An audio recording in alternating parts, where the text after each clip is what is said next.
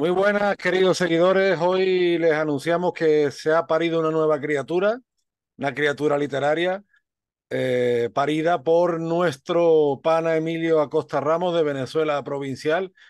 Y vamos, hoy es un día de furia sobrenatural, porque vamos a hablar de las crónicas sobrenaturales del Imperio Español. Un libro de misterio, de rareza y, en fin, al cabo, de las cosas del Orinoco, esas cosas que tú no las sabes ni yo tampoco. Así que, querido pana, eh, te felicito por tu libro. La verdad que creo que es un libro muy necesario eh, porque cuenta esos aspectos de la historia, esas impresiones y, en fin, esa documentación que es difícil de encontrar, pero que formó parte ¿no? del imaginario colectivo eh, de, toda, de toda la América española. Bueno, y de, y de otros puntos que fuera de América. Así es, Antonio. Bueno, antes que nada, como siempre, darte las gracias por la invitación a tu canal de YouTube, Antonio Moreno Ruiz. Y sí, hoy vamos a estar hablando de esta obra prima, ¿no? Que, que he lanzado este miércoles pasado. Este libro que ven aquí atrás, por cierto, el fondo de pantalla es gracias a Alberto Marigil de Unión Hispanoamericana que tuvo eh, la, la, delicadeza de hacerme este fondo de pantalla que quedó maravilloso, ¿no? Y sí, es un tema que es muy poco estudiado, ¿no? Por, por los historiadores en general, pero es parte esencial de nuestra historia. Es un libro basado en, en archivos documentales, en crónicas de las personas que vivieron en aquella época, como pueden ser, por ejemplo, eh, los cronistas de Indias, ¿no? De aquellos primeros años del descubrimiento, posteriormente de los frailes que fueron parte activa ¿no? de, de, de, la pacificación y la evangelización del continente americano, de viajeros como Alexander von Humboldt, pues hay muchísima documentación en este libro y, y, es muy, muy rico en cuanto a cuanto a estos menesteres. Y bueno, hay que decirlo, Antonio, tú fuiste el escritor del prólogo de este libro, ¿no? Eres parte también de este libro y voy a leer eh, parte de lo que escribiste en el prólogo que me encantó.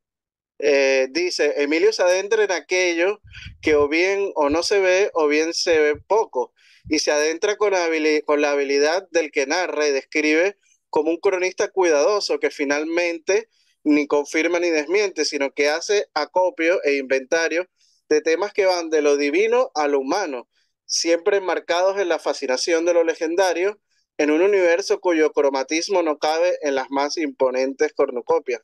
Esto a mí me encantó de tu ah, prólogo, Antonio, y hay otra parte que también me encanta que dice, no obstante, querido lector, ten muy presente con muchas de las cosas que podrás leer, aprender y disfrutar en estas crónicas son como las cosas del Orinoco. Tú no las sabes ni yo tampoco. Háblanos, Antonio, de, de tu inspiración acerca de este prólogo porque ha quedado maravilloso. No, hombre, pues muchísimas gracias. La verdad que para mí es un honor, es una honra haber hecho el prólogo de, de, tu libro. Y bueno, cuando tú me pasaste el texto y demás, yo disfruté muchísimo porque es una literatura muy amena, es un libro que se lee fácil. Y mm, sobre todo a mí lo que me, me impresiona es la, la habilidad porque claro, siempre es más fácil pues irte a las grandes batallas o irte a los grandes hechos, pero es que para esto tienes que escudriñar mucho, tienes que irte al rincón más escondido, ¿no? y, y también incluso ponerte en el contexto como tú bien haces, porque de repente hay fenómenos que a día de hoy no nos parecería tan raro. Pero la, la labor que tú has hecho aparte es poner en contexto, ¿no? Y además poner esas impresiones de los viajeros, de la gente, ¿no? Pues claro que muchas veces yo voy a la literatura de García Márquez. Tú sabes que los críticos más influenciados por el racionalismo francés decían que García Márquez no era, no era un escritor realista. Pero es que la realidad muchas veces tiene más magia que la más potente de las ficciones. Entonces, no sé, tu libro me parece una, una fuente de inspiración. Y también, como decirte, de, de todo aquello que nos une, por sus más diversas aristas, como te digo, porque generalmente siempre vamos a los grandes nombres, a las grandes batallas, pero Miguel de Unamuno creo que fue el que acuñó el concepto de intrahistoria, ¿no? Esa historia de la gente de a pie, esa historia más interna. Y la verdad, bueno, yo creo que, que Iker Jiménez estará encantado el día que tengan en sus manos este libro, porque es muy completo, es un libro que tiene la habilidad de, de leerse muy fácil, pero después tiene una gran documentación y una gran contextualización, ¿no? es que hablando de García Márquez desde primera hora, García Márquez, por ejemplo, ya citaba a los primeros marinos europeos que llegan a América, bueno, fundamentalmente españoles, algunos italianos, y cómo ellos intentan, digamos, muchas veces asociar al mundo que conocían. Incluso, por ejemplo, con los animales que ellos ven, ¿no? Este parece un cocodrilo, este parece... Y, y, dicen cosas que son... que muchas veces uno no sabe si está describiendo una crónica marítima o, o está inventándose una novela legendaria. Porque claro, todavía estaban asimilando la nueva realidad y se tardó muchísimo. Entonces, claro, esos fenómenos que tú vas relatando, a la gente les costaba asimilarlo. Y luego también el teléfono averiado. Como un fenómeno, pues la, teoría del teléfono averiado, qué sé yo, llegaba a Isla Margarita de una manera, pero es que a La Guaira llegaba de otra. Entonces, claro, porque cada uno, y eso pasa con los romances, por ejemplo. Yo ahora me estoy leyendo los romances de América de Ramón Menéndez Pidal y él cuenta mm, cómo los romances van derivando de un lado a otro. Prácticamente la estructura, la métrica es la misma, pero según qué lado se le van cambiando las palabras. ¿Por qué? Pues porque el músico o el guitarrista que estaba eh, a lo mejor en Sevilla decía una cosa y el que estaba en Santiago de Chile decía, y, y, lo adaptan muchas veces a su contexto. Que eso me parece una de las cosas más brillantes de tu libro, esa, esa contextualización de hechos y, de fenómenos y de personas además rarísimas. Tú sabes que hay un periodista peruano, residía en Madrid, yo no sé si, si sigue en España, Aldo Mariátegui, muy polémico. Y Aldo Mariátegui siempre decía que en Perú hay gente muy rara. Dice, Perú la leche se vende en lata, siempre decía, ¿no? Pero bueno, al fin y al cabo te das cuenta que gente rara hay en todos lados, ¿no? Y fenómenos raros hay en todos lados. Lo que sí es verdad, pana, que yo creo que como, yo no sé explicar la razón, como que el continente americano parece más propicio no a, la rareza, porque la rareza existe en todas las partes del mundo, sino quizás a la fijación y a la descripción de estos fenómenos. Como que en Europa estamos más apagados, más programados, ¿no? Más, todo es más monótono, y, en América como que hay mucho más movimiento. Me da esa impresión en todos los órdenes de la vida. Sí, de acuerdo con lo que dices, ¿no? Y sobre todo traer estos temas a colación en los tiempos que vivimos de, de incertidumbre política, ¿no? Es un respiro poder leer todas estas crónicas, porque no solo lo vivimos aquí en España esta incertidumbre política, también el mundo hispano es de la misma forma y todas estas historias pues nos traen y, nos despiertan y, y, y, la mente pues nos las refresca, ¿no? Eh, algo que tú estabas señalando anteriormente es, claro, el trabajo de archivo que lleva esto, porque hay que escudriñar en los fondos de los archivos. Y, esto es un trabajo, hay que decirlo, de 10 años de investigación, ¿no? Yo como investigador histórico, cada vez que voy investigando y me consigo con estos casos pues sobrenaturales, pues los iba archivando. Y yo dije, uff, esto está interesantísimo, esto le va a gustar a la gente, ¿no? Y, y, llegó el momento de hacer un libro y yo quise hacer un libro diferente que no solo le pueda gustar a los amantes de la historia y, y del hispanismo, porque es un libro muy hispanista, muy histórico que bebe de fuentes primarias, pero también lo puede leer alguien que le gusta, por ejemplo, el género del, del terror o el misterio, ¿no? O sea, no solamente tiene que ser para amantes de la historia. Y también, claro, lo que tú señalas, ¿no? ¿Por qué estos cronistas de India, sobre todo de, de la época del descubrimiento, pues escribían de esta forma? Claro, ellos llega a un, a un, continente nuevo, al nuevo mundo, y la geografía, Antonio, tú sabes que es totalmente diferente a la europea, ¿no? Mm. Por ejemplo, el río no, Amazonas... La, las, distancias, las distancias son enormes en el continente americano. Exacto, el río Amazonas es muy caudaloso, el Orinoco, el Mississippi, muy, muy diferente a los ríos de aquí de Europa, que son más pequeños, menos caudalosos. La, la fauna es totalmente diferente, vemos manatís, eh, vemos eh, tucanes, guacamayas, loros, ¿no? Algo que no se ve y no está acostumbrado a Europa. Y entonces, claro, todas esas personas de aquella época estaban acostumbradas a las novelas de caballería medieval, a las crónicas eh, mitológicas, ¿no? Del mundo antiguo, de la antigua Grecia. Hmm. Las Amazonas, la historia de las Amazonas es de la antigua Grecia. Y claro, los conquistadores y, y, los frailes al, al ver eh, una tribu con mujeres, pues claro, lo primero que se imaginan las guerreras amazonas o Hernán Cortés cuando descubre la Baja California, las Californias, que es otro mito de la antigüedad, ¿no? Entonces ellos buscan eh, eh, estos relatos, escribían estos relatos buscando una comparación al mundo que ya conocían en la antigua Europa. Pero bueno, Antonio, tú que leíste el libro, me gustaría saber cuál de las crónicas que, que aparecen en ellas te llamó más la atención, ¿no? No, bueno, a mí me llama la atención especialmente esos seres que la gente identifica como monstruos, ¿no? Los seres que identifica la gente como, como monstruos, ¿no? Que bueno, fíjate tú que muchos de esos eh, han sido paseados en circo hasta hace tres días, o sea, tampoco no... Pero eh, los seres que son, digamos, eh, calificados como monstruos y cómo son descritos.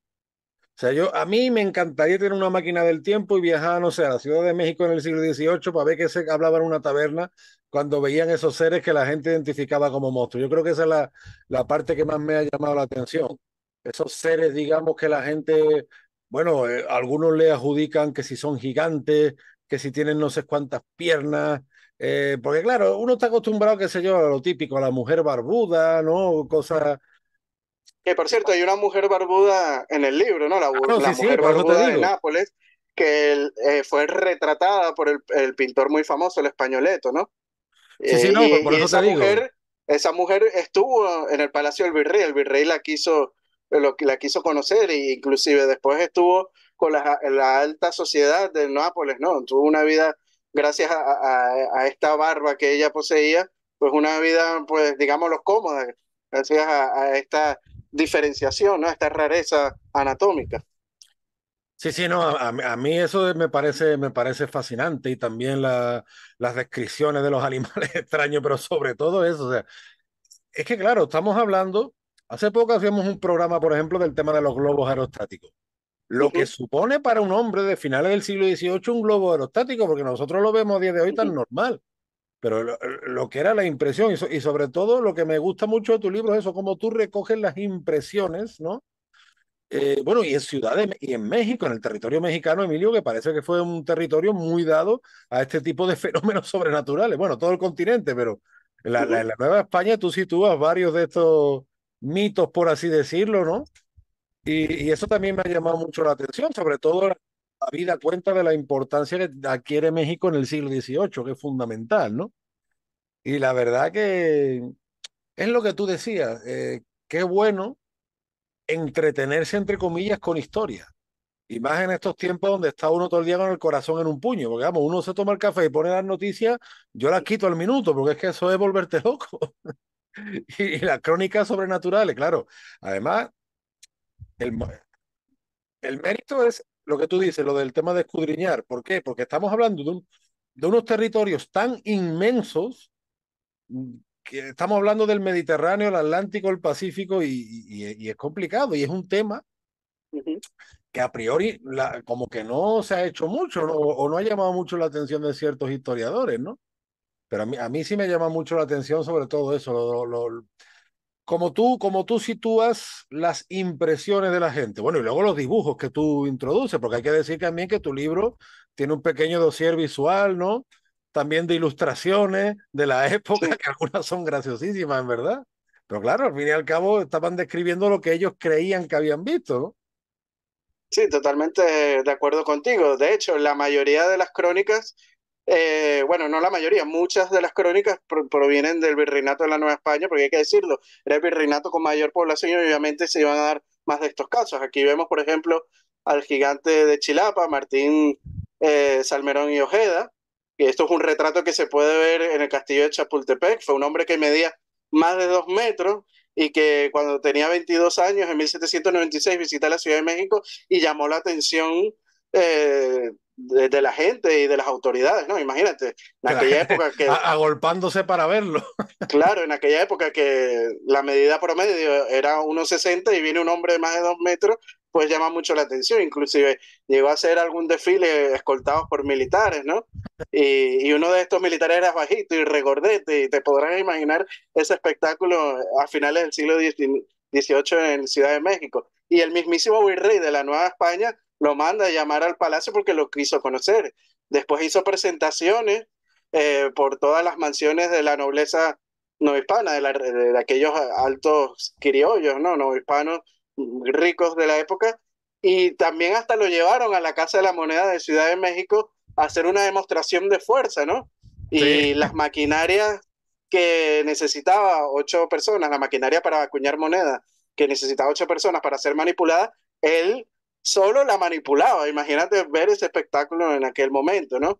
Y luego empezó a recorrer el virreinato de Nueva España haciendo presentaciones, llegó inclusive a la Capitanía General de Guatemala a hacer estas presentaciones de fuerza, de tamaño, ¿no? Y el Ayuntamiento de México, pues, mandó a retratarlo en 1796, que es este esta pintura que, que vemos y lo inmortalizó, ¿no? Y algo muy curioso de él, Antonio, también, es que Martín, cuando vino la guerra de independencia en, Nueva España, él se mantuvo leal a la monarquía hispánica y luchó a favor de, del rey de España, ¿no? Eh, y bueno, en una batalla fue capturado, ¿no? Eh, por los insurgentes, y claro, los insurgentes lo capturaron, pero un hombre de dos metros, lo que impone, pues le, le perdonaron la vida, eso sí, ¿no? Con, con, la condición de que cambiara de bando, y José María Morelos Pavón, el líder insurgente, lo tomó como escolta para él, ¿no? Y también otra cosa que estaba señalando anteriormente, Antonio, es como en el siglo XVIII, con la ascensión de la monarquía a la monarquía hispánica de los Borbones, cómo ellos tratan de con las reformas pues introducir eh, la investigación científica, porque muchos de estos dibujos que están en los archivos, de estos monstruos, de estas anomalías anatómicas, como por ejemplo esta criatura con anomalías eh, anatómicas que vemos aquí, este bebé que nació con cuatro piernas, que es de la ciudad de Querétaro, también el virreinato de la Nueva España, pues eh, es registrado por las autoridades, porque claro, los reyes de España, Felipe V, pues tiene una colección de un gabinete de, monstruosidades, ¿no? Y un gabinete natural de historia, de todos los, estos fenómenos que ocurren en todo el territorio de la monarquía hispánica, y le dice a las autoridades que cuando vean un caso que llama mucho la atención de estos fenómenos eh, anatómicos, eh, tanto en animales como en personas, como también en la naturaleza, ¿no? En las plantas, etcétera, pues que le informen, ¿no? Y, y hacían estos dibujos para llevarlos a, a la Corte de Madrid y muchos de ellos fueron llevados hasta Madrid, por lo menos. Está el caso del megaterio de, Luján, en, en, el reinato del Río de la Plata, que es eh, unos huesos de unos fósiles de, un, de, un, dinosaurio y fue llevado hasta la península, desmontado, eh, eso sí, enumerado, en orden, y lo podemos ver hoy en el Museo eh, de Historia Natural de Madrid, de este megaterio de Luján, ¿no?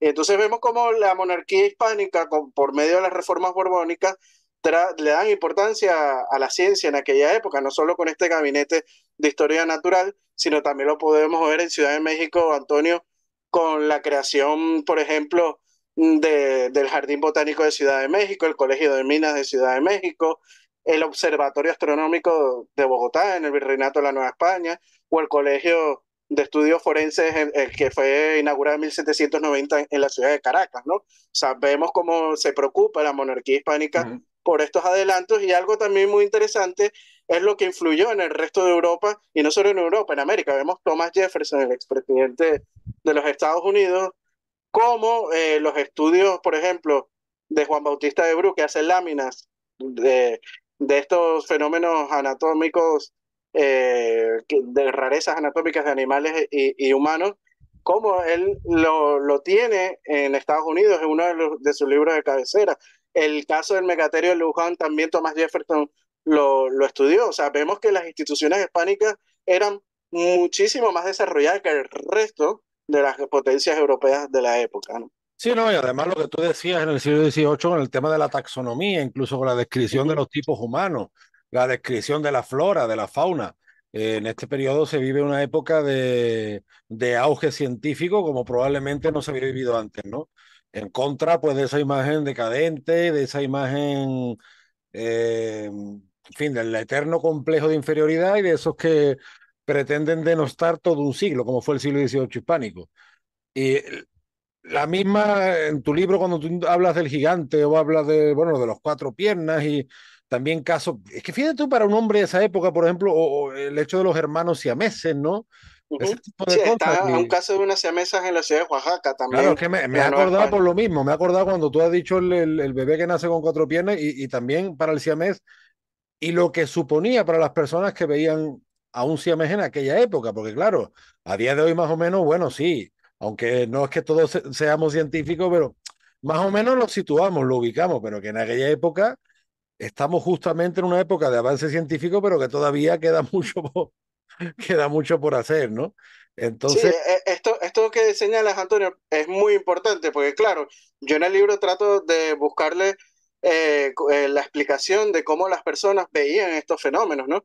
Y acordémonos que para aquella época la gente era muy religiosa y esto siempre lo tomaba como cuando sucedía un parto de esto en, un ser humano o en un animal. Por ejemplo, está el caso de la ternera de cinco patas en Bogotá, ¿no? Eh, en el Virreinato de la Nueva España. Eh, cuando veían e, estos casos, pues pensaban que era un castigo divino, ¿no? Que es que Dios había castigado a la persona que quedó pues eh, embarazada o, o, el animal que quedó preñado y lo castigó pues teniendo una criatura así, con estas deformidades anatómicas como puede haber sido un siamés o como puede haber sido esta criatura de Querétaro con cuatro piernas, ¿no? Y entonces todos estos casos fueron documentados. También vemos el, caso de la ternera cinco patas de Bogotá, es muy interesante, Antonio, porque, eh, claro, nace esta ternera en, en, 1803, en el año 1803, y, y eso surgió, pues, eh, eh, la intriga, ¿no? En la población, ¿no? Y el contador mayor de la Real Hacienda de Santa Fe, del nuevo Reino de Granada, era Martín Urdaneta y Troconis. Adivina quién es este personaje también, ¿no? ¿No sabes? Ahora, no, ahora me, me has pillado así a la pluma, pero bueno. bueno, era el tío del general insurgente Rafael Urdaneta. Urdaneta, claro, sí, sí, la misma familia. y, sí, Troconi, tú, tú, sabes que la mujer del torero cordobés que es Venezuela es de apellido Troconi, de repente era familia. Sí, bueno, Troconi, Troconi es un apellido muy, muy famoso en Venezuela. Está Callayo Troconi, famoso rockero de, de la banda de Hermistatú también. Pero bueno, para que después digan que los criollos eran eh, discriminados, ¿no? era contador mayor de la Real Hacienda de Bogotá. Y vio esto, eh, eh, este, esta ternera de cinco patas, y dijo que esto es especial eh, para el Real Gabinete de Historia Natural de, que había de, los reyes en España, ¿no? Y entonces levanta un informe y hace un dibujo que está en el Archivo General de Indias y lo envía a, a la corte para que lo analizaran y lo vieran, en este caso de la ternera de cinco patas, que la quinta pata le, le creció pues en el lomo, ¿no?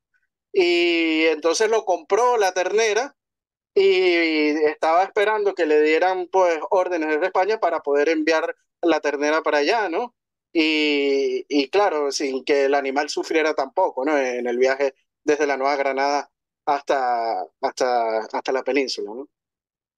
imagínate, imagínate el, el, caso aquel y además eso, estamos hablando que nosotros somos una sociedad, Emilio, que tiene mucha mm, oferta de ocio y de entretenimiento, pero en aquella época no las ferias de los pueblos, por ejemplo, e, eran acontecimientos. Bueno, si lo siguen siendo a día de hoy, tú imagínate en aquella época. Entonces, imagínate en Bogotá cuando la gente dice que hay una ternera con cinco patas, todo el mundo se, se agolpaba, ¿no? Eh, claro, llegan las autoridades, las autoridades tienen estas órdenes desde España, que si ven un caso de este tipo, pues lo, lo informen y si eh, la corona o la corte o, o el Real Gabinete de historia natural lo considera así, lo envían a la península para su estudio ¿no? y conservación. Tú, Emilio, este libro, como tú bien dices, son investigaciones por, no sé, de nueve, diez años, ¿no? O sea, tú cuando empiezas a ver la proliferación de estos casos, llamémosle peculiares, tú en principio no te inspira para escribir un libro, ¿no? Pero hay un antes y un después que tú digas, tengo que escribir un libro o ha ido surgiendo, o... porque se nota, ya te digo, que, que tienes una pasión especial por esto, ¿no? Bueno, a mí, Antonio, siempre me ha llamado la atención el mundo de lo, del misterio y el terror, ¿no? Ayer en una entrevista me comentaban, ojalá que Guillermo del Toro pues supiera estas historias, estas crónicas, e hiciera una serie, ¿no? Porque están basadas en hechos reales, ¿no? Sería una serie, pues, eh, interesantísima, ¿no? Y como siempre me llamó la atención, pues, desde hace 10 años vengo investigando la historia de la monarquía hispánica en archivos y, y también investigaciones de campo, Y entonces iba guardando esto y yo dije, algún día esto me servirá, la gente le, le gustará. Y llegó un momento que ya tenía tanta, pero tantos casos que yo dije, hay que hacer un libro de esto porque sé que la gente le va a gustar muchísimo y como me dijo José Alberto de la librería Tercios Viejos, no conozco a nadie que haya escrito sobre este tema en específico, ¿no? Y te lo está diciendo el dueño de una librería que está acostumbrado a ver libros y libros de historiadores, ¿no? Y sobre todo librerías Tercios Viejos que se, que se especifican en estos temas de la monarquía hispánica y de la historia, ¿no? Entonces, y como nadie lo había abordado, yo dije, tengo que abordarlo y decidí, ¿no? Lanzar este libro, ¿no? Porque es una temática que me llama mucho la atención, que me gusta, es historia hispánica, porque hay que llamarlo, hay que decirlo de esta manera. Eh, en el mundo hispánico conocemos muchos de los casos del mundo, por ejemplo, anglosajón, por, eh, está el caso de la colonia perdida de Roanoke, el monstruo del lago Ness, ¿no? O inclusive Jack el Destripador. Pues, en, el libro también hay un caso de una, de una eh, asesina serial, la primera del continente americano, que fue la Capitanía General de Chile, ¿no? Y entonces son un compendio de casos, Antonio, increíbles, ¿no? Y siempre algo muy importante es que trato de buscarlo, buscarle una, una explicación racional, ¿no? Por ejemplo, está el caso de Alexander Humboldt en el pueblo de Cumanacoa, en Venezuela, de que él registra de que había un hombre amamantando a su hijo porque su mujer estaba enferma, ¿no? Y claro, esto nos parecerá increíble, ¿no? Y a lo mejor hasta un invento de Alexander von Humboldt que es científico, hay que decirlo así, pero no, esto es un síndrome llamado galactorrea, galactorrea y es, y es un síndrome que se da mucho, ¿no? Que, que, que suele ser más común de, de lo que parece. Sí, no, claro, definitivamente, son casos muy raros y que a día de hoy muchos de ellos, si no todos, por lo menos una gran mayoría, ya se le ha ubicado esa explicación científica, pero claro que en aquella época que estaba todavía la cosa como, se imagínate lo que suponía para un hombre del siglo XVIII ver a un hombre amamantando. si a día de hoy esto nos parecería rarísimo, pues imagínate en aquella época, ¿no? Pero sí es verdad que tú le das ese toque racional y sobre todo al final, ¿no? O sea, yo por eso siempre digo, eh, en el prólogo digo que tú ni confirmas ni desmientes sino que tú describes, haces acopio, te vas a las fuentes y al final pues siempre le buscas la explicación racional. Y yo diría también, Emilio, que este libro, por lo menos mi impresión, como que, ¿cómo te puedo decir? Como que desdramatiza, por así decirlo. Porque por desgracia muchas veces la historia está siendo utilizada como arma arrojadiza y arma arrojadiza como contra nosotros mismos. Pero con este libro no se va a poder hacer eso. Entonces, como que es algo que todo el mundo, cualquiera que hable la lengua de Cervantes, se va a sentir identificado y va a sentir una sana curiosidad. Porque si fuera a lo mejor de una temática histórica más, qué sé yo, temas más polémicos, tipo eh, la conquista, las independencias, temas que hemos hablado muchas veces, ¿no? Ahí sí mm, podría generar un club de fans, un club de detractores. Pero este libro no, o sea, este libro no va por ahí, este es un libro que, que abarca temas que le pueden interesar a cualquiera, le pueden interesar tanto a expertos como a neófitos, tanto amantes de la historia como amantes del misterio, qué sé yo, creo que abarcas un público muchísimo más amplio, ¿no? Y en ese sentido es uno de los muchos aciertos que yo le veo a este libro. Sí, bueno, esa fue una de las ideas a la hora de escribir el libro, ¿no? Que fuera un libro universal, ¿no? Muchas están acostumbrados a mis artículos de investigación histórica en Venezuela provincial que toman estos temas políticos, militares, económicos de la época. Son artículos que, acaban haciendo que te pelees con el mundo. Que acaban haciendo que me peleen con el mundo y bueno, yo dije, quiero escribir un libro universal que, que pueda leerlo todos los públicos, hasta un neófito que no esté adentrado en estos temas históricos, como hasta alguien que sí esté muy adentrado en estos temas históricos, porque no es algo común, ¿no? De, poder eh, leer y, y, de tener información, porque como digo, fue un, trabajo muy exhausto, investigativo, y claro, también al final, cuando ya tenía unos ciertos archivos ya guardados, pues también investigué un poco más y quise también incluir esos casos clásicos de crónicas como pueden ser las Amazonas, como puede ser la, la leyenda del Dorado, ¿no? De por qué los cronistas escriben esta leyenda del Dorado y, y, la documentación que hay en los archivos sobre estos casos. Tú sabes que hace poco estaba escuchando el, este libro que han, que han sacado ahora del Far West, la, el, de la intrahistoria oscura de los Estados Unidos, ¿no? y decía que hay una diferencia entre mitología verdadera y verdadera mitología. Parece lo mismo, pero no lo es, ¿no? No lo es. Pero yo creo que tu libro tiene un poco de esas dos, tanto de verdadera mitología como de mitología verdadera. Sí, por eso es que lo divido en dos capítulos, ¿no? El primer capítulo es de crónica, de aquellos testimonios que recogen los cronistas, tanto del descubrimiento como de la evangelización con los frailes, como los viajeros, y el segundo capítulo que es más de archivos documentales, ¿no? Todos estos dibujos que, que se registran en cada archivo nacional, como puede ser el Archivo General de India o el Archivo General de la Nación Colombiana, ¿no? Eh, el segundo capítulo trata más de estos, de estas anomalías, eh, tanto eh, anomalías humanas como animales, ¿no? Oye, por cierto, el libro, que soy un desastre citando, el libro eh, que es El violento Far West y sus armas, Historia Negra, Leyenda Rosa, es de Miguel Ángel Navarro Crego. Estaba escuchando ahora un, vídeo del canal Cima Hosental y la verdad que tiene bastante buena pinta. Y me he quedado con esa, ya te digo, me he quedado con esa terminología porque yo creo que tu libro abarca todo eso. Y al final, bueno, pues también abarcas el logos, no solo abarcas el mito, porque tú vas, más bien tú vas del mito al logos, ¿no? Eso sí es algo determinante en tu forma de escribir en general. De hecho, muchas veces cuando tú escribes artículos, pues siempre empiezas o bien con la documentación o bien con ciertas tradiciones orales, pero al final tu camino siempre es el de buscarle la razón y buscarle el punto, ¿no? Y bueno, en temas tan polémicos, nosotros que nos metemos mucho en el tema de las independencias, que además ahí sí que hay mitología. Yo creo que hay más mitología en, en Bolívar y San Martín que en tu libro.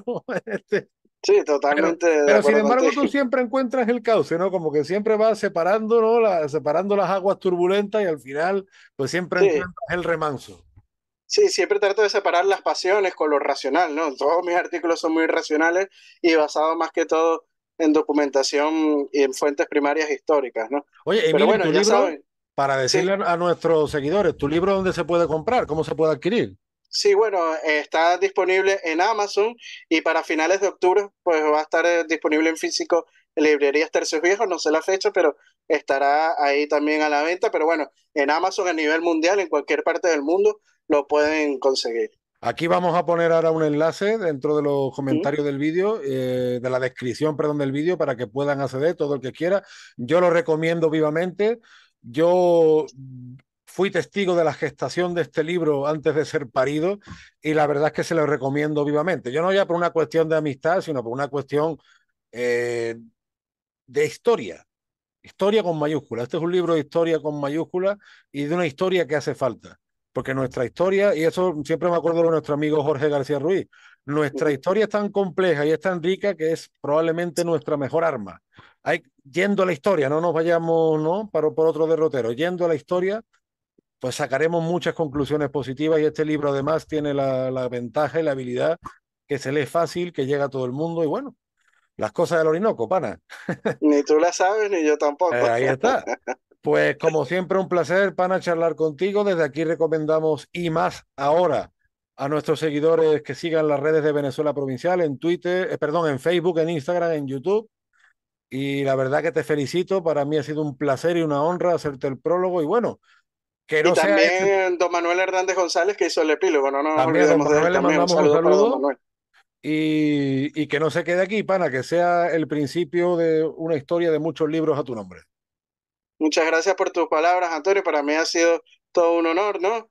Eh, contar con el prólogo en este libro. Y bueno, también recordarle a los seguidores de Venezuela Provincial seguir a Antonio Moreno Ruiz en sus redes sociales. Está en, en Twitter como un andaluz indiano, en Facebook como página oficial de Antonio Moreno Ruiz. No dejen de suscribirse a su canal de YouTube y también al de Venezuela Provincial y darle a la campanita para así cuando subamos nuevo material de estas entrevistas y podcast pues estén enterados. Aprovechamos, Antonio, para enviarle un fuerte abrazo y saludos a nuestros mecenas y patrocinantes como lo son Gabriela Arrieta, Ángel Suárez, Juan Cristóbal García, Lomeli Sam, Domingo, eh, perdón, ay, se me olvidó por aquí, Domingo González, sí, Daniel Sierra, Miguel Curvelo y Mario Pérez. Y también a mi paisano Fran García, que siempre está pendiente de nosotros.